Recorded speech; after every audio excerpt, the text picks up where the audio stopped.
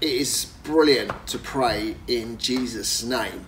You know, Jesus is the good shepherd. Jesus is the, the teacher. Jesus is the author of life. Jesus is the one who has called us and chosen us and has plans to, to prosper us and not to harm us. So when we pray in Jesus' name, we are praying in the authority of the Creator of the universe, the creator of the world, the person that made our, us who we are, our DNA, our, uh, the people that we are. And so when we pray in Jesus' name, uh, we're praying in the Lordship of Christ. We're praying in the, the, in the Shepherd.